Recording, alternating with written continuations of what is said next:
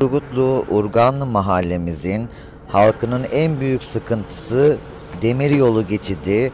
Evvelden 3 geçit e, bulunan Urganlı mahallesindeki iki geçitin kapatılmasıyla Türkiye Cumhuriyeti Devlet Demiryolları tarafından tek geçide mahkum edilmiştir.